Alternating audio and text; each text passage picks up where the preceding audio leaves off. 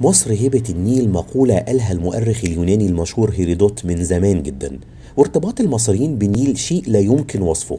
النهارده هنتمشى ونتجول على كورنيش النيل في الجيزة والقاهرة من شارع البحر الأعظم وامتداده بشارع النيل لغاية ما نوصل ميدان الجلاء. فلو كنت جديد في القناة اعمل subscribe وفعل زر الجرس عشان يجيلك جديد جولاتنا ورحلاتنا أول بأول. ويلا بينا بسرعة نبدأ جولتنا النهارده.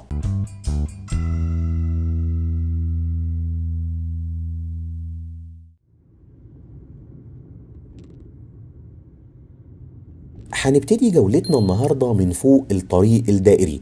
يمكن عايزين نقول إن مصر فيها أكتر من دائري. في الدائري القديم اللي إحنا ماشيين فيه دلوقتي وفي كمان الدائري الأوسطي وفي الدائري الإقليمي. الطريق الدائري تم افتتاحه سنة 2005 وكان التنفيذ بدأ سنة 1986 يمكن الدائري بيربط تقريبا كل أحياء القاهرة والجيزة. والجزء اللي إحنا ماشيين كنا ماشيين فيه دلوقتي هو دائري المنيب. وبيتم تطوير كبير في الجزء ده وهيكون تقريبا 8 حارات وهيخلص قريب جدا. هننزل بقى من ال... إحنا دلوقتي في منزل الطريق الدائري اللي هيربطنا مباشرة بشارع البحر الأعظم اللي هنتمشى فيه النهارده وهنكمله بامتداده كده في شارع النيل لغاية ما نوصل لميدان الجلاء يمكن في جزء من شارع البحر الأعظم كان ورانا لكن هو يمكن جزء مش مش مش هنعدي عليه وهو جزء صغير يعني. كده إحنا عدينا كده الطريق الدائري بقى فوقينا. وهنكمل طريقنا كده في شارع البحر الأعظم. كنا شايفين أعمال التطوير اللي بتتم في بعض الكباري أو منزل للدائري كمان وبيتم عملية تطوير كبيرة برضو في المنطقة دي عشان زي ما قلنا يتوسع الطريق الدائري ويتعمل منزل ومطلع تاني للطريق الدائري. آه كده إحنا بقى ماشيين في عمق شارع البحر الأعظم. آه شارع البحر الأعظم يعني اللي إحنا ماشيين فيه يعتبر من أشهر الشوارع في محافظة الجيزة. يمكن الشارع مش طويل قوي آه لكن الأبراج اللي إحنا آه شايفينها دلوقتي اللي على إيدينا الشمال اللي بدأت تظهر دي يمكن اسمها أبراج الخليج. وفي محطة تحلية جزيرة الذهب هتبقى على يميننا هي محطة مياه جزيرة الذهب دي موجودة على إيدينا اليمين أهي. وفي يمكن كل اليمين ده هو اليمين ده مفروض إنه كورنيش النيل زي ما إحنا ماشيين كده لكن يمكن هو متغطي آه للأسف ببعض الأسوار لأن معظم الجزء اليمين ده فيه نوادي آه كتير جدا وفيه قاعات آه أفراح ما تعدش يعني. في قاعات أفراح كبيرة جدا وكتيرة جدا في شارع البحر الأعظم. الشارع اللي على أيدينا الشمال ده اسمه شارع كولدير وهو من الشوارع الرئيسية والمشهورة وبعديه شارع الوحدة. وطول ما إحنا ماشيين كده هنشوف أسماء الشوارع اللي موجودة في شارع البحر الأعظم. زي ما قلنا هو شارع من الشوارع المشهورة والمهمة اللي بتقطع محافظة الجيزة. هنمشي كده وبعد شوية كده هنقابل في طريقنا القرية الفرعونية. يمكن هي من أشهر المعالم اللي موجودة في شارع البحر الأعظم. القرية الفرعونية دي يعني كانت بالنسبة للي أنشأها كانت حلم وبعدين أصبحت موجودة فعلا على أرض الواقع. آه هي بقت على يميننا هي القرية الفرعونية وده المدخل الرئيسي للقرية الفرعونية. وعلى شمالنا آه شارع فرحات. كان محطة آه توتال دي كانت أول محطة للغاز تتعمل في مصر على شمالنا دلوقتي شارع 6 أكتوبر. القرية الفرعونية اللي إحنا لسه معديين من عليها دلوقتي مكان هتقدر تشوف فيه قدماء المصريين وعيشتهم وحياتهم وتتعرف على تاريخهم ودولتهم كانت عاملة إزاي. المكان ده بيجسد فعلا حضارتنا العظيمة بكل الجمال بقى والعظمة والعراقة اللي موجودة فيها. المكان عبارة عن مساحة ضخمة على النيل وعبارة عن متحف حي.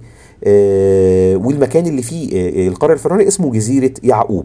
آه اللي أنشأ القرية الفرعونية دكتور اسمه دكتور حسن رجب سنة 1974 زرع فيها 5000 شجرة من النخيل والبلح والجميز وحط فيها بقى مجموعة من النباتات النادرة. وفي سنة 84 افتتحت القرية الفرعونية. وبعدين جه بعد كده ابنه الدكتور عبد السلام وزود بقى عدد المتاحف الموجودة داخل القرية الفرعونية. شكل النيل من القرية الفرعونية أدعوكم أن أنتوا كلكم تزوروا القرية الفرعونية. مكان هتستمتعوا فيه جدا ومكان جميل جدا لأن شكل النيل من هناك تحفة. هناك بقى بتركب مركب كده وبياخدك في جولة آه، بتسمع فيها تسجيل صوتي وبتشوف بقى القدماء المصريين فعلا وهم بيمارسوا آه، طبعا يعني اللي بيمثلوا القدماء المصريين وهم آه، بيمارسوا طقوس الحياة الطبيعية اليومية اللي كان بيعملها القدماء المصريين. في نموذج بقى لمقبرة توت عنخ آمون وفي نموذج لبعض المعابد التانية.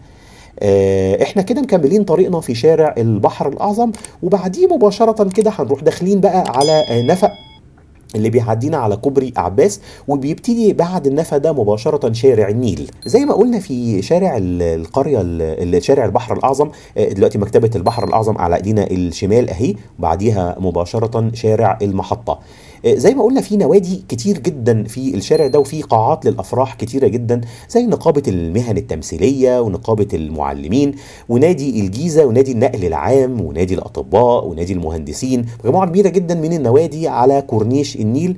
وفي آه، كمان آه، في شارع النيل آه، نادي الكشافة البحرية والنادي الدبلوماسي وعدد كبير جدا من المراكب النيلية. آه، يمكن ال- المنطقة اللي عدينا عليها عدينا عليها كان في منطقة عدينا عليها اسمها آه، ساقية مكي.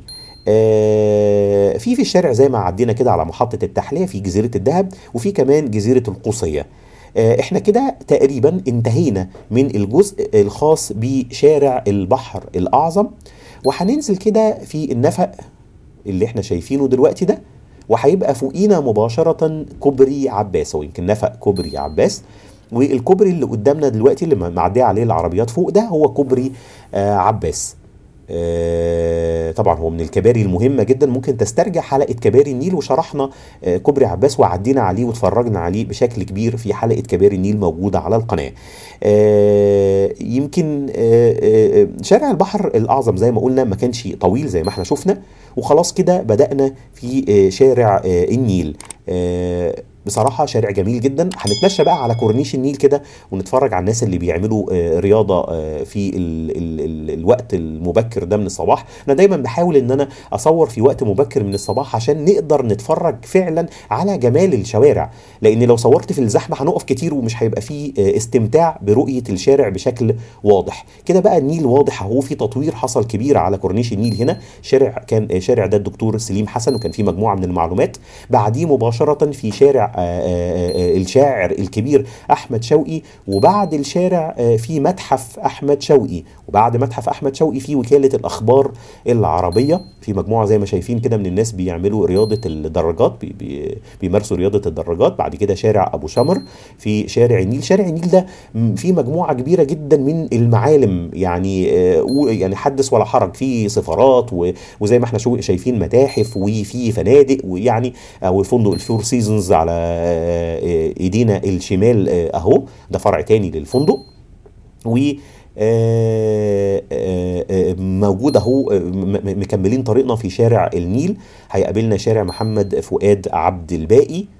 ومجموعة كبيرة جدا من الشوارع ال- ال- المهمة آه، اللي بتتفرع من شارع النيل شارع ابن سينا وفي مجموعة هي من المعلومات عن ابن سينا العالم والطبيب المسلم المشهور جدا اللي اتشهر بأبو الأطباء.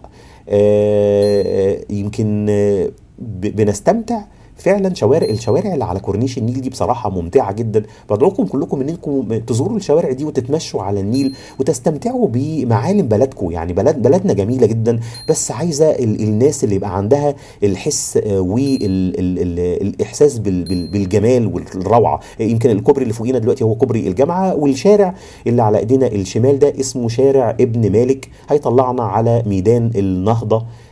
وجامعة القاهرة. آه، دلوقتي إحنا كده آه، شارع اللي على شمالنا دلوقتي اسمه شارع أحمد نسيم. آه، ال- المعظم الأندية اللي موجودة على النيل في الجزء ده هي أندية تتبع لرياضة التجديف. يعني معظم اللي بيمارسوا رياضة التجديف كانوا أعضاء في أو بيمارسوا رياضة التجديف عن طريق الأندية اللي موجودة على إيدينا اليمين دلوقتي آه، في شارع النيل. آه، شايفين بقى إحنا وإحنا طول ما إحنا ماشيين كده بنتفرج على أسماء الشوارع ال- ال- ناحية الشمال اللي بتقاطعنا على شارع النيل وهو كان في شارع اليمن وبعديه شارع الطحاوية وهو زي ما إحنا شايفين أدي نادي المقاولين العرب للتجديف ورياضة جميلة جدا. وكان عندنا بطل آه، اللي هو علي إبراهيم كان بطل من أبطال التجديف المصريين آه، المشهورين جدا. بعد كده في شارع كامل واصف.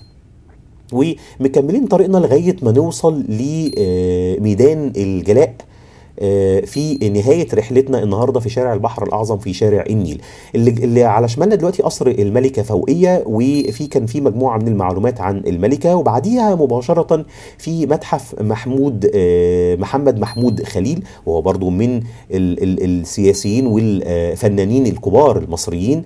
وبعد كده في آه، كان شارع كافور آه، وكان في مجموعة آه، عن آه، كافور الإخشيدي آه، موجودة في الصورة اللي كانت قدامكم. يمكن ال ال ال ال الشارع زي ما إحنا شايفين كده في مجموعة كبيرة جدا من المعلومات أو كان في شارع ابن الإخشيد وعلى يميننا دلوقتي نادي التجديف المصري. كان في نادي المقاولين العرب وبعديه في أهو نادي التجديف المصري. وما زال في جزء كبير من الناس بيمارسوا رياضة الدراجات بالذات على كورنيش النيل وفي الشارع الجميل جدا اللي إحنا ماشيين فيه دلوقتي.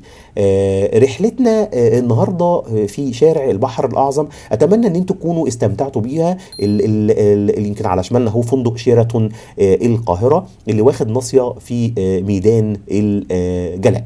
إحنا كده آه، فعلا وصلنا لميدان الجلاء وهندخل من ميدان الجلاء مباشرة أهو بقى في وشنا كده شارع كورنيش النيل اللي بيوصلنا لمنطقة العجوزة والكيتكات وممكن ممكن منها نوصل لمنطقة المهندسين برج القاهرة على شمالنا أهو وبقينا ماشيين على كوبري الجلاء. أتمنى إن رحلة النهارده تكون آه، عجبتكم وتكونوا اتمشيتوا كده على كورنيش النيل وإن شاء الله هنكرر آه، تمشيتنا على كورنيش النيل في في كورنيش النيل في المعادي وكورنيش النيل في اتجاه شبرا وفي اتجاه رود الفرج. على يميننا هو نادي القاهرة الرياضي وبعديه مباشرة في متحف محمود مختار صاحب آه، تمثال نهضة مصر المشهور.